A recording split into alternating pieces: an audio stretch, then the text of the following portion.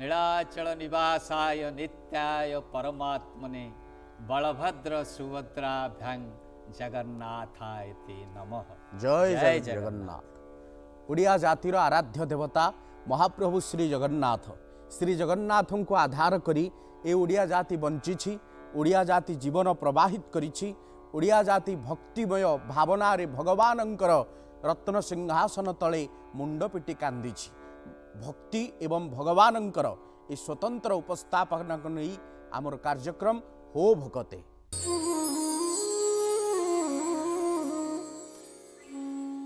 ଗଜପତି ଦ୍ୱିତୀୟ ରାମଚନ୍ଦ୍ର ଦେବଙ୍କ ସମ୍ପର୍କରେ ଆଜି ଜାଣିବା ଡକ୍ଟର ମିଶ୍ରଙ୍କ ଠାରୁ ଗଜପତି ଦ୍ୱିତୀୟ ରାମଚନ୍ଦ୍ର ଦେବ କେଉଁ ବଂଶର ଥିଲେ ଏବଂ ତାଙ୍କରି ସମୟରେ ତାଙ୍କର ପିତାଙ୍କର ନାମ କ'ଣ ମାତାଙ୍କ ନାମ କ'ଣ ରାମଚନ୍ଦ୍ର ହେବା ପୂର୍ବରୁ ଆସନ ଅଳଙ୍କୃତ କରିବା ପୂର୍ବରୁ ରାଜଗାଦି ତାଙ୍କର ନାମ କ'ଣ ଥିଲା ଡକ୍ଟର ମିଶ୍ର? ଜଗନ୍ନାଥ ମହାପ୍ରଭୁଙ୍କୁ ନେଇ ଉତ୍କଳରେ ଯେଉଁ ଶାସକ ବର୍ଗ ବିଭିନ୍ନ ରାଜବଂଶର ଶାସନ କରିଆସିଛନ୍ତି ତା ଭିତରେ କେଶରୀ ବଂଶ ଠାରୁ ଆରମ୍ଭ କରି ଗଙ୍ଗବଂଶ ସୂର୍ଯ୍ୟବଂଶ ଏବଂ ବର୍ତ୍ତମାନର ଯେଉଁ ରାଜବଂଶ ଚାଲିଛି ତାହା ହେଉଛି ଭୋଇବଂଶ। ଏହି ଭୋଇବଂଶର ପ୍ରଥମ ପ୍ରତିଷ୍ଠାତା ହେଉଥିଲେ ଗଜପତି ରାମଚନ୍ଦ୍ର ଦେବ ପ୍ରଥମ। ତାଙ୍କୁ ମାଦଳା ପାଞ୍ଜିରେ ଅଭିନବ ଇନ୍ଦ୍ରଦ୍ୟୁମ୍ନ ଆଖ୍ୟା ଦିଆଯାଇଛି। ତାଙ୍କର ପରେ ଯେଉଁ ସପ୍ତମ ପିଢ଼ି ଆସିଲେ ସେ ହେଉଛନ୍ତି ଗଜପତି ରାମଚନ୍ଦ୍ର ଦେବ ଦ୍ୱିତୀୟ। ସତରଶହ ସତେଇଶ ଖ୍ରୀଷ୍ଟାବ୍ଦରେ ସେ ଖୋର୍ଦ୍ଧା ସିଂହାସନ ଆରୋହଣ କରିଥିଲେ। ତାଙ୍କର ପିତା ଯଦିଓ ଥିଲେ ହରକୃଷ୍ଣ ଦେବ କିନ୍ତୁ ତାଙ୍କ ଭାଇ ରାଜଗାଦିରେ ବସିଥିଲେ। ସେ ହେଉଛନ୍ତି ଗୋପୀନାଥ ଦେବ। ସତରଶହ କୋଡ଼ିଏରୁ ସତରଶହ ସତେଇଶ ମସିହା ପର୍ଯ୍ୟନ୍ତ ସେ ଏଇ ଖୋର୍ଦ୍ଧା ରାଜ ସିଂହାସନରେ ଆରୋହଣ କରି ରାଜକାର୍ଯ୍ୟ ପରିଚାଳନା କରୁଥିଲେ। ତାପରେ ତାଙ୍କର ଭାଇ ଯେଉଁ କେଶବ ରାୟ ସେ ସେଇଦିନ ଯେଉଁଦିନ ହତ୍ୟା ସଂଗଠିତ ହୋଇଥିଲା ଗୋପୀନାଥ ଦେବଙ୍କୁ ସେଇଦିନ ସେ ଖୋର୍ଦ୍ଧାର ରାଜ ସିଂହାସନ ଆରୋହଣ କରିଥିଲେ ଗଜପତି ରାମଚନ୍ଦ୍ର ଦେବ ଦ୍ୱିତୀୟଙ୍କ ନାମରେ। ଏବଂ ଗଜପତି ରାମଚନ୍ଦ୍ର ଦେବ ଦ୍ୱିତୀୟ ତାଙ୍କ ସମୟରେ ସେ ମାତ୍ର ନଅ ବର୍ଷ ରାଜ୍ୟତ କରିଥିଲେ ମଧ୍ୟ ବହୁ ଦୁଃଖ ଦୁର୍ଦ୍ଦଶା ଭିତରେ ସେ ତାଙ୍କର ବିପଦ ଆସିଛି ଏବଂ ବିଶେଷ କରି ଜଗନ୍ନାଥଙ୍କର ଯେଉଁ ସମର୍ପିତ ମନୋଭାବ ତାଙ୍କର ଯେଉଁ ସେବା ପୂଜା ମାତ୍ର ସେ ସତରଶହ ଏକତିରିଶ ମସିହା ପର୍ଯ୍ୟନ୍ତ ସତରଶହ ସତେଇଶରୁ ସତରଶହ ଏକତିରିଶ ଏଇ ଚାରି ବର୍ଷ ଧରି ସେ ମାତ୍ର ମହାପ୍ରଭୁଙ୍କର ରଥ ଉପରେ ଛେରା ପହଁରାଠୁ ଆରମ୍ଭ କରି ଗଜପତି ମହାରାଜା ତାଙ୍କର ଯେଉଁ ସେବା ରାଜନୀତି ରହିଛି ମନ୍ଦିରରେ ସେ ତୁଲାଇ ଆସିଥିଲେ। କିନ୍ତୁ ସତରଶହ ଏକତିରିଶରେ ତାଙ୍କ ଉପରେ ବିପଦ ଆସିଗଲା। କିନ୍ତୁ ସେ ଜଣେ ମହାପ୍ରଭୁଙ୍କର ଅନନ୍ୟ ଭକ୍ତ ସମର୍ପିତ ମନୋଭାବ ସେବା ମନୋଭାବ ଏବଂ ତାଙ୍କୁ ଇଷ୍ଟ ଭାବରେ ଉପାସନା କରିଆସୁଥିଲେ ମହାପ୍ରଭୁ ଶ୍ରୀ ଜଗନ୍ନାଥଙ୍କୁ ବେଦ ବେଦାନ୍ତ ସାହିତ୍ୟ ତୌଲି ପାରେନା କିନ୍ତୁ ମହାପ୍ରଭୁଙ୍କର ରାତୁଳ ଚରଣ ତଳେ ଭକ୍ତଟିଏ ଆନନ୍ଦାଶ୍ରୁ ଦୁଇ ଟୋପା ଢାଳିଦେଲେ ମହାପ୍ରଭୁ ରତ୍ନ ସିଂହାସନ ଠା- ଛାଡ଼ି ଦେଇ ବଡ଼ଦାଣ୍ଡର ଧୂଳି ଧରିତ୍ରୀ ବକ୍ଷକୁ ଉଭା ହୋଇଯାଆନ୍ତି ଭକ୍ତର ଭଗବାନ ସ୍ୱୟଂ ଶ୍ରୀ ଜଗନ୍ନାଥ ଆମର ଯିଏ ଏଠାରେ ଯିଏ ପ୍ରତିଷ୍ଠାତା ଯିଏ ଧୀରେନ୍ଦ୍ର ସାମନ୍ତରାୟ ସେ ସବୁଦିନ ମୋତେ ପିପିଲୁ ନେଇକି ଆସନ୍ତି ଏଠି ଛାଡ଼ନ୍ତି ମୁଁ ସବୁଦିନ ଆସେ ସନ୍ଧ୍ୟାବେଳ ଆଳତୀରେ ଆମେ ଦୁଇ ଜଣ ଯାକ ଏଠି ଆଳତୀ କାର୍ଯ୍ୟକ୍ରମ କରୁ। ଗୋଟେ ଦିନ ଘଟଣା ମୁଁ କହୁଛି ମୁଁ ଆସି ଠିଆ ହେଇଛି ଠାକୁର ପାଖକୁ ଆସିବି। ଛଅଟା ବାଜିଗଲି ଛଅଟାରେ ଆମର ଆଳତୀ ଆରମ୍ଭ ହେବ। ଛଅଟା ବାଜିଲେ ଅଥଚ କାହାକୁ ମୁଁ ସେମିତି ଚିହ୍ନା ଲୋକ ପାଉନାହିଁ। ହଠାତ୍ ଏହି ସମୟରେ ବର୍ଷା ଆରମ୍ଭ ହୋଇଗଲା। ଅଚାନକ ବର୍ଷା ହେଇଗଲା ସେଠି ଛୋଟ ଦୋକାନ ସବୁ ସବୁ ବନ୍ଦ ହେଇଗଲା। ଗାଡ଼ି ଗୋଟେ କେହି ରହିଲେନି ଯିଏ ଯାହା ବାଟରେ ଚାଲିଲେ। ମୁଁ ଗଲେ କ'ଣ ଯାଇପାରିବିନି? ମୁଁ ବି ଘରକୁ ଫେରିବା ଅବସ୍ଥା ନାହିଁ। ବର୍ଷା ଛାଡ଼ିଲେ ହିଁ ଆସିବି। ଗୋଟେ ସେଠି ଚାଳି ଘର ଅଛି ମୁଁ ସେଇଠି ଯାଇ ଠିଆ ହେଇଗଲି। ଠିଆ ହେଇଲି ମୁଁ ଗଲେ ଅଭିଯାନ କଲି ଠାକୁର ଆଜି ମୋତେ ଆଜି ନେଇପାରିଲେନି ତମ ପାଖକୁ ହଉ ମୁଁ ଫେରି ଯାଉଛି ଆଜି। ଏଇ କଥା ଭାଇ ଫେରୁଛି। ହଠାତ୍ ଏହି ସମୟରେ ଗୋଟେ ଜଣେ ମୋଟର ସାଇକେଲ ଧରିକି ଆସି ପହଞ୍ଚିଲେ। ସେଇ ବର୍ଷାରେ ଓଦା ହେଇକି ଆସି ପହଞ୍ଚିଲେ। ସେ ମନକୁ ରହିଲେ ମୁଁ କିଛି କହିନାହିଁ। ସେ କ'ଣ ଭାବିଲେ କ'ଣ ମୋତେ ଚାହିଁ ରହିଗଲେ ଆଡ଼ି। ସେ କହିଲେ ଆପଣ କ'ଣ କୁଆଡ଼େ ଯିବେ? ମୁଁ କହିଲି ମୁଁ ଜଗନ୍ନାଥ ପାଖକୁ। ନା ଜଗନ୍ନାଥ ପାଖକୁ? ଆପଣ ପୁରୀ ଯିବେ? ମୁଁ କହିଲି ନାଇଁ ଆଜ୍ଞା ମାଧିପୁର ଜଗନ୍ନାଥ ମନ୍ଦିର ଆମେ ବସେଇଛୁ। ନା ମୁଁ ପୁରୀରୁ ଆସୁଛି। ଜଗନ୍ନାଥ ପାଖରୁ ମୁଁ ତ ଆସୁଛି। ଆ ମୋ- ମନରେ ମୋର ଗୋଟେ ଆସିଗଲା। କ'ଣ ଜଗନ୍ନାଥ ପଠେଇଦେଲେ କି? ମୁଁ ସେଥିରୁ ତାଙ୍କ ପାଖରେ ଯାଇ କିଛି ଲଗେଇ ବସି ପଡ଼ିଲି ତାଙ୍କ ପାଖରେ। ଦୁଇ ଜଣ ଯାକ ଆସୁଛୁ। କହିଲେ ଆପଣଙ୍କ ଜଗନ୍ନାଥ ପାଖକୁ ଯାଇ ମୁଁ ଆଜ୍ଞା। ସେ କହିଲେ ମୁଁ ଜଗନ୍ନାଥଙ୍କ ପ୍ରସାଦ ନେଇକି ଆସୁଛି। ପ୍ରସାଦ ନେଇକି ସେ କହିଲେ ପ୍ରସାଦ ଖାଇବେ? ଆମେ ଦେଖନ୍ତୁ। ମୁଁ ଫେରି ଯାଉଥିଲି ଯେ ଠାକୁର ମୋତେ ପଠେଇଦେଲେ। ସେ ମୋତେ ପ୍ରସାଦ ବି ଦେଲେ। ଗୋଟେ ଚାଳିଆ ଘର ଥିଲା ସେଠି ଗଲୁ ବର୍ଷା ହେଉଛି। ପ୍ରସାଦ ହିଁ ସେ ମୋତେ ଦେଲେ ସେଥିରେ ଖାଇଲି। ମୁଁ ତାପରେ ସେ ମୋତେ ଆଣି ଏଠି ଛାଡ଼ି ଦେଇଗଲେ ମୁଁ କହିଲି କ'ଣ? ଆପଣ କେଉଁଠାରେ ନା ମୁଁ ସଡ଼ା ଗଇ ଗୋଟେ ଗୋଟେ ଅଲୌକିକ ଘଟଣା। ମୁଁ କହିଲି ଆପଣ ନା ନା ନଟବର ମୋ ନା। ନଟବର ମୁଁ ଡିଫେନ୍ସରେ ଚାକିରି କରେ। ମୁଁ ଜଗନ୍ନାଥଙ୍କ ପାଖକୁ ଯାଇଥିଲି ପ୍ରସାଦ ଫେରୁଛି ବର୍ଷା ହେଇଗଲା ଅଚାନକ। ଆପଣ ଠିଆ ହେଇଥିଲେ ଦେଖିଲେ ମୁଁ ନେଇ ଆସିଲି। ବିଶ୍ୱାସ କରିନି ମୁଁ ଆସି ପହଞ୍ଚିଲା ବେଳକୁ ଧୀରେ ନା ଆରମ୍ଭ ହେଇସାରିଲାଣି ମୁଁ ଯାଇ ପହଞ୍ଚିଲି। ଯଥାରୀତି ଆଳତୀ କାର୍ଯ୍ୟକ୍ରମ ସରିଲା। ତା ଆର ଦିନ ମୁଁ ଯାଇ ମୁଁ ମୁଁ ସେ ଲୋକକୁ କହିଥିଲି ଯଜ୍ଞକୁ ଆସିବେ ଆମର ଜଗନ୍ନାଥ ମୁଁ ଆସିବି ନିହାତି ମୁଁ ପ୍ରତିବର୍ଷ ଆସୁଛି ଆସିବି। ଏକଥା ବି ସେ କହିଲେ ମୁଁ ପ୍ରତିବର୍ଷ ଆସୁଛି ମୁଁ କିନ୍ତୁ ତାଙ୍କୁ ଦେଖିନି କେତେବେଳେ। ମୁଁ ଯେତେବେଳେ ସଡ଼ାଗୋଇ ଗ୍ରାମ ତାଙ୍କର ସଡ଼ାଗୋଇ କହିଥିଲେ ମୁଁ ବୁଝିଲି ନଟବର ବୋଲି କେହି ନାହାନ୍ତି। କେହି ଡିଫେନ୍ସରେ ଚାକିରି କରିନାହାନ୍ତି ତାହେଲେ କିଏ ସିଏ? ଗଜପତି ଦ୍ୱିତୀୟ ରାମଚନ୍ଦ୍ର ଦେବ ଓଡ଼ିଆ ଜାତିରେ ଏଇଭଳି ଜଣେ ରାଜା ନାହାନ୍ତି ଯିଏ ନିଜକୁ ସମର୍ପଣ କରି ନିଜେ ବରଂ ମୁସଲମାନ ପାଲଟିଗଲେ ପରନ୍ତୁ ଓଡ଼ିଶାର ଇତିହାସ ଭିତରେ ଶ୍ରୀ ଜଗନ୍ନାଥ ସଂସ୍କୃତିରେ ଦାଗଟିଏ ମଧ୍ୟ ଦେଇନାହାନ୍ତି ତେବେ ଗଜପତି ରାମଚନ୍ଦ୍ର ଦେବଙ୍କର ରାଜତ୍ୱ ସମୟରେ କେଉଁ ନାଏବ ନାଜିମ୍ ଖୋର୍ଦ୍ଧାଗଡ଼ ଆକ୍ରମଣ କରିଥିଲେ ଏବଂ କେତେଥର ଆକ୍ରମଣ କରିଥିଲେ ଏବଂ ମହାପ୍ରଭୁ କେଉଁଠି କେଉଁଠି ସ୍ଥାନାନ୍ତରିତ ହୋଇଥିଲେ ଡକ୍ଟର ମିଶ୍ର? ରାମଚନ୍ଦ୍ର ଦେବ ଦ୍ୱିତୀୟ ଜଣେ ଅନନ୍ୟ ଭକ୍ତ। ତାଙ୍କ ସମୟରେ ଶ୍ରୀମନ୍ଦିର ଉପରେ ଏବଂ ଖୋର୍ଦ୍ଧା ଗଡ଼ ବା ଖୋର୍ଦ୍ଧା ନହର ଉପରେ ପ୍ରବଳ ଆକ୍ରମଣ କରିଥିଲେ ସେତେବେଳେ କଟକର ଯେଉଁ ନାଏବ ନାଜିମ୍ ଥିଲେ ତକି ଖାଁ। ଜଣେ ଦୁର୍ଦ୍ଦଶ ହିନ୍ଦୁ ବିଦ୍ୱେଷୀ ଏବଂ ହିନ୍ଦୁ ମନ୍ଦିରମାନଙ୍କ ଉପରେ ଆକ୍ରମଣ କରିବା ତା'ର ମୁଖ୍ୟ ଲକ୍ଷ୍ୟ ଥିଲା। ସେ ସତରଶହ ଏକତିରିଶ ମସିହାରେ ପ୍ରଥମ ଥର ପାଇଁ ଯେତେବେଳେ ଖୋର୍ଦ୍ଧା ଗଡ଼ ଏବଂ ଶ୍ରୀମନ୍ଦିର ଉପରେ ଆକ୍ରମଣ କରିଛନ୍ତି ପ୍ରଥମେ ମହାପ୍ରଭୁଙ୍କୁ ସେତେବେଳେ ସ୍ଥାନାନ୍ତର କରାଯାଇଛି। ତାଙ୍କ ସମୟରେ ପ୍ରାୟ ତିନିଥର ସତରଶହ ଏକତିରିଶରୁ ସତରଶହ ତେତିଶ ଖ୍ରୀଷ୍ଟାବ୍ଦ ପର୍ଯ୍ୟନ୍ତ ତିନିଥର ଆକ୍ରମଣ କରାଯାଇଥିଲା ଯାହାଫଳରେ ଗଜପତି ରାମଚନ୍ଦ୍ର ଦେବ ଉପାୟ ଶୂନ୍ୟ ହୋଇ ସେ ବିଗ୍ରହଙ୍କୁ ଶ୍ରୀମନ୍ଦିରରୁ ସ୍ଥାନାନ୍ତରିତ କରିଥିଲେ ଏବଂ ସେ ଯେଉଁ ଯେଉଁ ସ୍ଥାନାନ୍ତରିତ କରିଥିଲେ ସେ ଚିଲିକା ବାଟ ଦେଇ ଆସିଥିଲେ ଏବଂ ପ୍ରଥମେ ମହାପ୍ରଭୁଙ୍କୁ ଅଣାଯାଇ ହରିହରେଶ୍ୱର ମଣ୍ଡପ ଯେଉଁଟାକି କାଙ୍କଣ ଶିଖରୀର ପାଖରେ ଯେଉଁ ନଈରୀର ଯେଉଁ ମଣ୍ଡପ ରହିଥିଲା ହରିହରେଶ୍ୱରଙ୍କର ମଣ୍ଡପ ସେଇ ମଣ୍ଡପରେ ମହାପ୍ରଭୁ ବିରାଜମାନ କରିଥିଲେ। ସେ ତାପରେ ମଧ୍ୟ କାଙ୍କଣ ଶିଖରୀରେ ବିରାଜମାନ କରିଥିଲେ।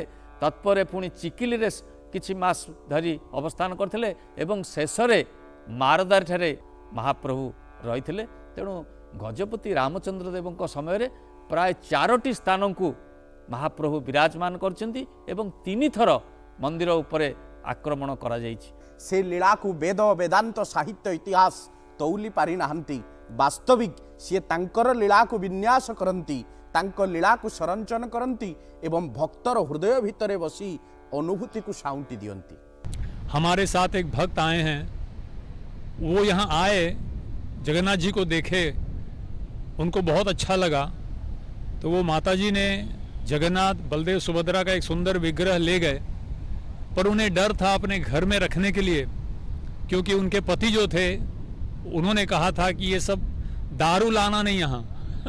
एक लकड़ी की मूर्ति को क्यों यहाँ रखे हो? तो वो बेचारी अपने सहेली के घर में उस विग्रह को रखी थी। पर और उनके घर में उनके पति जो थे, जो मना कर रहे थे, एक दिन वो सोए हुए थे और रात को उस, उन्होंने सपने में देखा कि उनकी लड़की जो ग्यारह, ग्यारहवीं में पढ़ाई कर रही है, वो घर के सामने रंगोली डाल रही है और एकाएक उन्होंने सपने में देखा कि उस लड़की के सामने जगन्नाथ, बलदेव, सुभद्रा तीनों खड़े हुए तो वो लड़की ने कहा कि आप आइए, अंदर आइए। तो उसने कहा, अरे तेरा बाप जो है हमें अंदर आने नहीं दे रहा है। उसे बोल, हम तैयार हैं। तो तुरंत वो उठे उनके पति और तुरंत अपनी पत्नी से कहा, देखो, तुम्हें जो विग्रह लाना ले आओ और अपने घर में स्थापित कर दो। वो यहाँ आई हुई है। तो इस तरह से कई घटनाएँ हमारे भक्तों के जीवन में भी ऐसी हुई है, जिसे हम देख सकते हैं कि जगन्नाथ ईश्वर सर्वभूतानाम हृदय से अर्जुन तिष्ठति।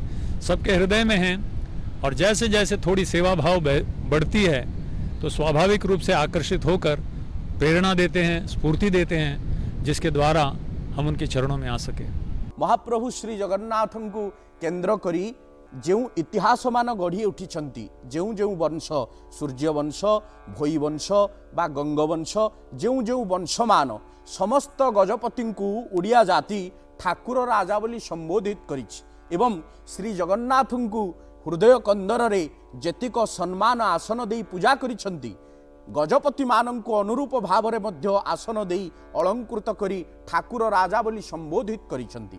ତେବେ ଦ୍ୱିତୀୟ ରାମଚନ୍ଦ୍ର ଦେବ ସେମାନଙ୍କର ଦୃଷ୍ଟିକୋଣରେ କେଉଁଭଳି ଥିଲେ ଏବଂ ଭୋଇବଂଶର ଶାସନ ସମୟରେ ଯେଉଁ ଯେଉଁ ସ୍ଥାନ ଗୁଡ଼ିକ ଥିଲେ କେଉଁ କେଉଁ ସ୍ଥାନକୁ ନିଆଯାଇଥିଲା ଡକ୍ଟର ମିଶ୍ର?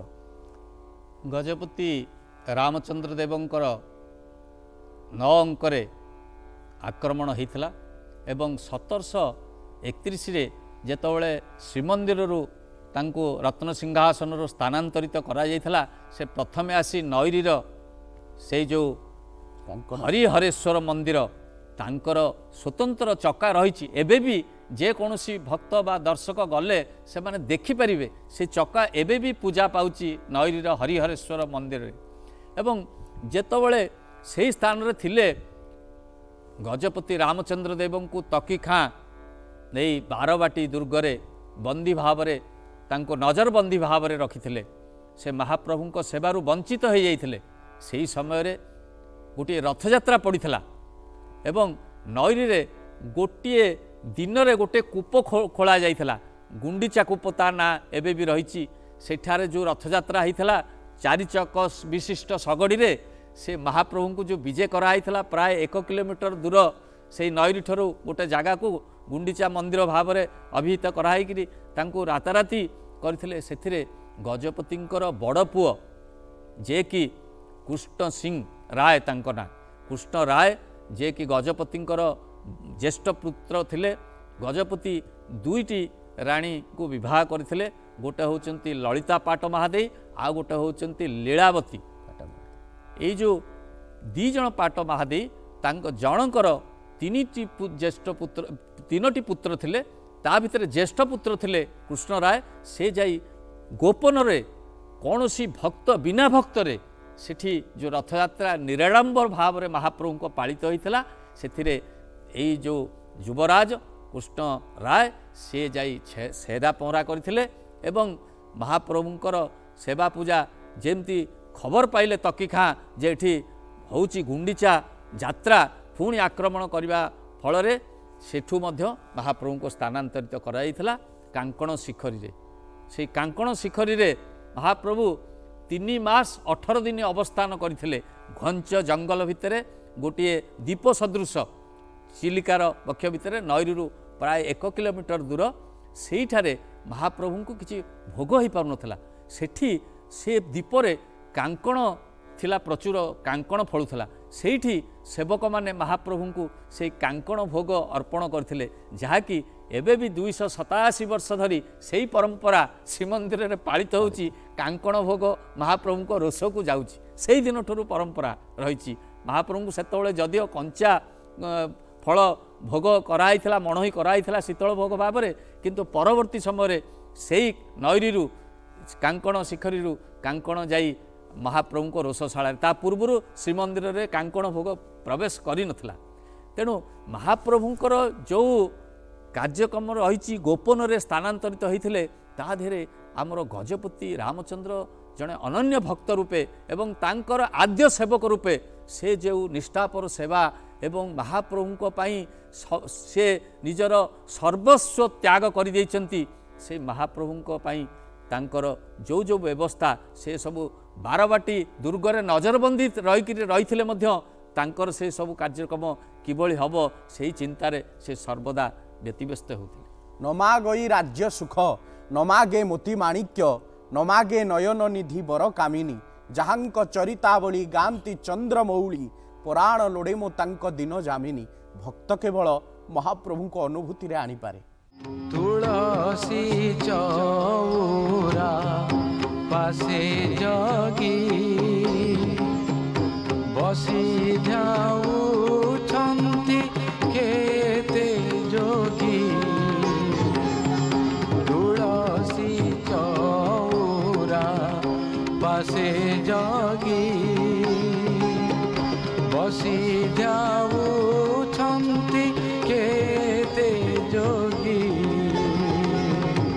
ବ୍ୟାଘ୍ର ଚର୍ମ ପାତି ସ୍ତୁତି କରୁଛନ୍ତି ବ୍ୟାଘ୍ର ଚର୍ମ ପାତି ସ୍ତୁତି କରୁଛନ୍ତି ଜପୁଛନ୍ତି ନାମ ସଂଖ୍ୟା କରି ଆହେ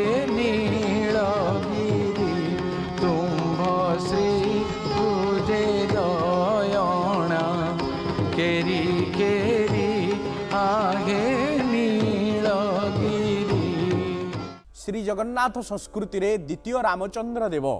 ସତେ ଯେପରି ସମସ୍ତ ଗଜପତିଙ୍କ ଠାରୁ ଭିନ୍ନତା ପ୍ରତିପାଦନ ହୁଅନ୍ତି। ଧର୍ମାନ୍ତକରଣ ହୋଇସାରିବା ପରେ ବାରବାଟୀ ଦୁର୍ଗରେ ରହିଲେ ଏବଂ ଦେହ ସିନା ରହିଲା ସେଇଠି ମନ କିନ୍ତୁ ଶ୍ରୀ ଜଗନ୍ନାଥଙ୍କର ଚରଣାର ବିନ୍ଦରେ ଜୀବନଟି କିଭଳି କଟିଲା ଡକ୍ଟର ମିଶ୍ର? ଯେତେବେଳେ ତକି ଖାଁର ଦ୍ୱିତୀୟ ଥର ଆକ୍ରମଣ ହେଲା ଶ୍ରୀମନ୍ଦିର ଉପରେ ପୁଣି ମହାପ୍ରଭୁଙ୍କୁ କିଛି ଦିନ ସେଠାରେ ଅବସ୍ଥାନ କରାଯାଇଥିଲା ସତରଶହ ବତିଶ ଖ୍ରୀଷ୍ଟାବ୍ଦରେ। ପୁଣି ମହାପ୍ରଭୁଙ୍କୁ ସ୍ଥାନାନ୍ତର କରାଗଲା ଚିଲିକା ବକ୍ଷରେ। ନଈରେ ସ୍ୱଳ୍ପ ସମୟ ପାଇଁ ବା ସ୍ୱଳ୍ପ ଦିନ ପାଇଁ ରହିବା ପରେ ପୁଣି ତାଙ୍କୁ ନିଆଗଲା ଗଞ୍ଜାମର ଯେଉଁ ଖଲିକୋଟ ପାଖରେ ଚିକିଲି ପାଖରେ ରଖାଗଲା। ଚିକିଲିରୁ ମଧ୍ୟ ଏକ ମାସ ଭିତରେ ତାଙ୍କୁ ମାରଦାକୁ ନିଆଯାଇଥିଲା। ପୋଲସରା ନିକଟବର୍ତ୍ତୀ ଆଠଗଡ଼ ରାଜାଙ୍କର ସେତେବେଳେ ରହିଥିଲା ଯେଉଁ ସାହାଯ୍ୟ ହରିଚନ୍ଦନଙ୍କର ସେ ସେଇ ରାଜାଙ୍କର ଆଠଗଡ଼ ରାଜାଙ୍କର ସହଯୋଗରେ ତାଙ୍କୁ ମାରଦା ନିଆଯାଇଥିଲା ଗୋଟେ ନିଘଞ୍ଚ ଜଙ୍ଗଲ ଭିତରେ। ସେତେବେଳେ ମଧ୍ୟ ଆମର ଗଜପତି ରାମଚନ୍ଦ୍ର ଦେବଙ୍କୁ ଯେତେବେଳେ ସେ ବାରବାଟୀରୁ ଆସିଛନ୍ତି ସେତେବେଳେ ତାଙ୍କୁ ଗୋଟେ ରୁମାଗଡ଼ ଜଙ୍ଗଲ ଭିତରେ ରଖାହେଇଥିଲା ସେ ମହାପ୍ରଭୁଙ୍କୁ ପ୍ରତିଦିନ ସେଇ ଜଙ୍ଗଲରୁ ଆସିକିରି ମାରଦାରେ ଯେଉଁ ଗୋପନୀୟ ଭାବରେ ମହାପ୍ରଭୁଙ୍କୁ ସେବା ପୂଜା କରୁଥିଲା ଘଣ୍ଟ ବାଜୁନଥିଲା ଘଣ୍ଟି ବାଜୁନଥିଲା ସେତେବେଳେ ସେବକମାନେ ଯାଇଥିଲେ ମଠାଧୀଶମାନେ ଯାଇଥିଲେ ସେଇ ମାରଦା ପୋଲସରା ପାଖରେ ଯେଉଁ ମହାପ୍ରଭୁଙ୍କୁ ଗୋପନରେ ରଖାଯାଇଥିଲା ହାତୀବାଡ଼ି ପାହାଡ଼ର ଉପକଣ୍ଠରେ ରଖାଯାଇଥିଲା ସେଇଠି ଦୁଇ ବର୍ଷ ଚାରି ମାସ ମହାପ୍ରଭୁଙ୍କୁ ସେବା ପୂଜା କରାଯାଇଛି ଗୋପନରେ ଏବଂ ସେଇ ରୁମାଗଡ଼ ଜଙ୍ଗଲରେ ତିନିଶହ ଦୁର୍ଦ୍ଦଶ ପାଇକ ସୈନ୍ୟ ତାଙ୍କୁ ଜଗୁଥିଲେ ତାଙ୍କ ସୁରକ୍ଷା ଦେବା ପାଇଁ ଗଜପତି ରାମଚନ୍ଦ୍ର ଦେବ ଦ୍ୱିତୀୟଙ୍କର ଏବଂ ସେହି ସମୟରେ ରାଣୀମାନେ ମଧ୍ୟ ତାଙ୍କର ଯୁବରାଜଙ୍କୁ ଧରି କିଏ ଆଠଗଡ଼ ଚାଲି ଯାଇଥିଲେ କିଏ ବୋଲଗଡ଼ରେ ଆଶ୍ରୟ ନେଇଥିଲେ କିନ୍ତୁ ଗଜପତି ମହାରାଜାଙ୍କୁ ସେଇ ଗୋପନରେ ଜଙ୍ଗଲ ଭିତରେ ଅତ୍ୟନ୍ତ କଷ୍ଟସାଧ୍ୟ ଜୀବନ ଯାପନ କରିଥିଲେ କାହା ପାଇଁ? ମହାପ୍ରଭୁଙ୍କୁ କେମିତି ନିରାପଦରେ ରଖିବି ଏବଂ ତାଙ୍କର ସେବା ପୂଜା କେମିତି ଅତୁଟ ରହିବ ସେହି ଉଦ୍ଦେଶ୍ୟରେ ସେ ବିଭିନ୍ନ ସ୍ଥାନରେ ତାଙ୍କୁ ଆଠଗଡ଼ ମହାରାଜା ସାହାଯ୍ୟ କରିଛନ୍ତି। ଗଞ୍ଜାମର ଯେଉଁ ଆଠଗଡ଼ ପୋଲସରା ପାଖରେ ତାଙ୍କୁ ରଖିଥିଲେ ଯେଉଁ ଏବଂ ସେହି ସମୟରେ ଯେଉଁ ମହାପ୍ରଭୁଙ୍କର ସେବା ପୂଜା ହେଇଥିଲା ସେଠି ଅନ୍ନଭୋଗ ହେଇଥିଲା ଏବଂ ଗୋପାଳ ବଲ୍ଲଭ ଭୋଗ ହେଇଥିଲା ଶିଳ୍ପୀମାନେ ପୋଲସରା ପାଖରେ ଯେଉଁ ବିନ୍ଧାଣୀ ଶିଳ୍ପୀମାନେ ଖୁବ୍ କମ୍ ଦିନ ଭିତରେ ଗୋଟେ ସଦୃଶ୍ୟ ମନ୍ଦିର ମଧ୍ୟ ନିର୍ମାଣ କରିଥିଲେ। ସେ ମନ୍ଦିର ଭିତରେ ମହାପ୍ରଭୁଙ୍କର ଏବେ ବି ସେ ସିଂହାସନ ରହିଛି ଯେଉଁଠି ଚତୁର୍ଦ୍ଧା ବିଗ୍ରହ ବିରାଜମାନ କରିଥିଲେ। ସେବା ପୂଜା ନିରନ୍ତର ଭାବରେ ଦୁଇ ମାସ ଚାରି ଦୁଇ ବର୍ଷ ଚାରି ମାସ ତାଙ୍କର ଚାଲିଥିଲା। ତାପରେ ମହାପ୍ରଭୁଙ୍କୁ ଯେଉଁ ସତରଶହ ତେତିଶ ମସିହାରେ ତାଙ୍କୁ ଯେଉଁ ନେଇ ଆସିଥିଲେ ଏଠିକି ସତରଶହ ତେତିଶ ମସିହାରୁ ସତରଶହ ଛତିଶ ମସିହା ପର୍ଯ୍ୟନ୍ତ ତାପରେ ଯେତେବେଳେ ଯାଇଛନ୍ତି ମହାପ୍ରଭୁଙ୍କୁ ଆଉ ସ୍ଥାନାନ୍ତର କରାଯାଇନି। ଅଦ୍ୟାବଧି ମହାପ୍ରଭୁ ସେଇ ସିଂହାସନ ଛାଡ଼ି ଅନ୍ୟ ବାହାରକୁ ପୁରୀ ବାହାରକୁ ଯାଇନାହାନ୍ତି। ସେଇ ମାରଦା ହେଉଛି ତାଙ୍କର ଶେଷ ଗୋପନୀୟ ରହଣୀ ସ୍ଥଳ ଗଜପତି ଦ୍ୱିତୀୟ ରାମଚନ୍ଦ୍ର ଦେବଙ୍କର ଏତେ ତ୍ୟାଗ ତିତିକ୍ଷା ପରେ ବି କେବଳ ଧର୍ମାନ୍ତରଣକରଣ ହୋଇଗଲେ ବୋଲି ଶ୍ରୀମନ୍ଦିରକୁ ବାରଣ କରାଗଲା। ତେବେ ଶେଷ ଜୀବନ କଟିଲା କେମିତି? ଦୁର୍ଦିନ ଦୁର୍ବିପାକରେ ଜଣେ ରାଜା ମହାପ୍ରଭୁଙ୍କୁ ଚିନ୍ତନ କରି କରି ଅନ୍ତିମ ଜୀବନକୁ ଢାଳି ଦେଉଛନ୍ତି ଡକ୍ଟର ମିଶ୍ର। ଗଜପତି ରାମଚନ୍ଦ୍ର ଦେବ ଦ୍ୱିତୀୟ ଯେତେବେଳେ ବାରବାଟୀ ଦୁର୍ଗରେ ବନ୍ଦୀ ଥିଲେ ସେ ସମୟରେ କେତେକ ଐତିହାସିକ ଗବେଷକ ଯେଉଁ ପ୍ରଶ୍ନ କରିଛନ୍ତି ସେମାନେ ବା ଉତ୍ତର ଦେଇଛନ୍ତି ସେମାନେ ରଖିଛନ୍ତି ଯେ ସେ ହେଉଛନ୍ତି ତକି ଖାଁଙ୍କ ଭଗ୍ନୀ ରେଜିଆ।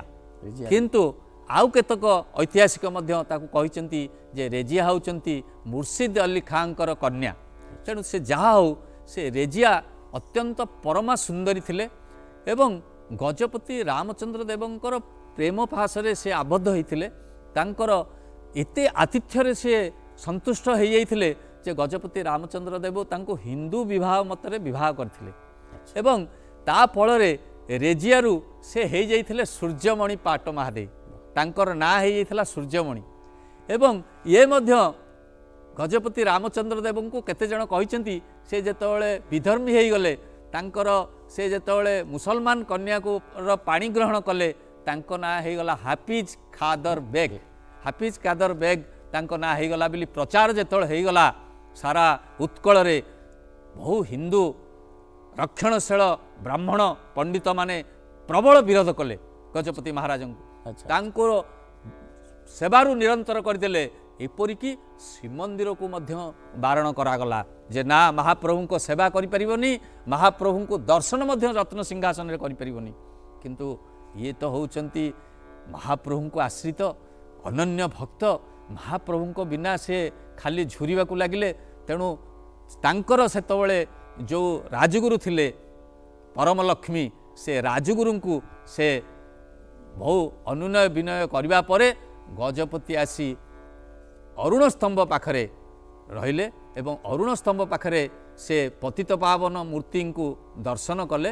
ଦର୍ଶନ କରିକିରି ରାଣୀଙ୍କ ସହିତ ପୁଣି ଫେରିଗଲେ ଏବଂ ଯାଇକିରି ଶେଷରେ ଆଠଗଡ଼ର ଯେଉଁ ବଡ଼ମ୍ବା ନରସିଂହପୁର ସେ ନରସିଂହପୁର ରାଜାଙ୍କର ପାର୍ଶ୍ୱ ତାଙ୍କର ଆଶ୍ରୟଦାତା ହେଇକି ରହିଲେ ତାଙ୍କର ଗୋଟେ ନରସିଂହପୁର ପାଖରେ ଗୋଟେ ଖମାରରେ ରହିଲେ ଏବଂ ସେ ଖମାରରେ ସେ ଆଶ୍ରୟ ପ୍ରଦାନ କରି ରହିଲେ। ତାଙ୍କଠୁ ଅନ୍ୟ ଦୁଇ ରାଣୀ ସବୁ ଯୁବରାଜ ଦୂରେଇ ଗଲେ କେବଳ ସେ ଯେଉଁ ସୂର୍ଯ୍ୟମଣି ବା ଯେଉଁ ରେଜିଆ ମୁସଲମାନ କନ୍ୟାକୁ ଯେଉଁ ବିବାହ କରିଥିଲେ ତାଙ୍କ ସହିତ ସେ ସେଇ ଖମାରରେ ଅତି ଦିନ ଜନ ହିସାବରେ ଗୋଟେ ସାଧାରଣ ମନୁଷ୍ୟ ଭାବରେ ସେ ଜୀବନ କାଟିଲେ ଏବଂ ତାଙ୍କର ଶେଷ ଜୀବନଟା ମହାପ୍ରଭୁଙ୍କୁ ଝୁରି ଝୁରି ଏତେ ସେ ବିଷର୍ଣ୍ଣ ହୋଇଯାଇଥିଲେ ଏବଂ ଶେଷରେ ଗୋଟିଏ ଦିନ ଦୁଇ ଜଣ ରଜା ରାଣୀ ବିଷପାନ କରି ସେ ଦେହତ୍ୟାଗ କଲେ ଏବଂ ତାଙ୍କର ଗୋଟିଏ ଜୁଇରେ ଦୁଇ ଜଣଙ୍କ ଚିତା ସେଇଠି ଜଳିଲା ଏବଂ ଏବେ ବି ସେ ଘଟଣାର ସ୍ମୃତି ସ୍ୱରୂପ ସେଠି ଲୋକ ସଞ୍ଜ ଦେଉଛନ୍ତି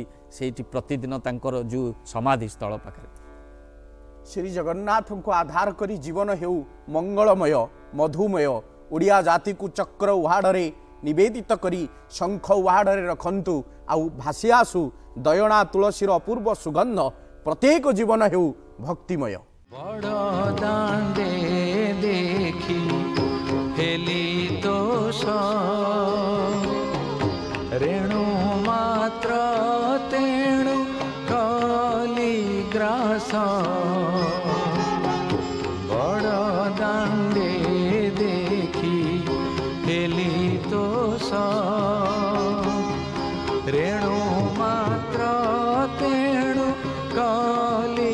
କଲି